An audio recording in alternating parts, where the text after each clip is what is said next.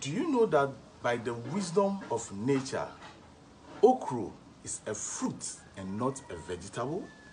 Yes, you may not know this because you have been cooking okra the wrong way throughout the years.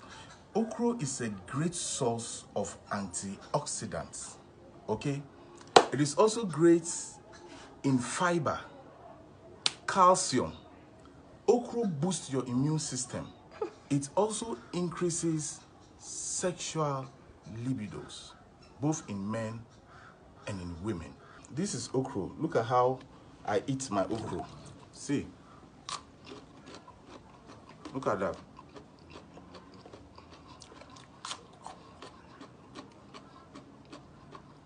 See, the health benefits of okra is beyond what I can say in this video because of time.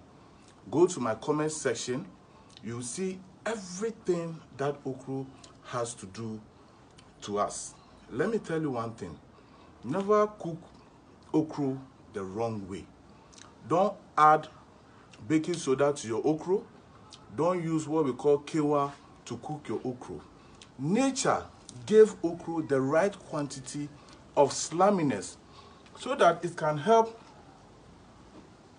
your body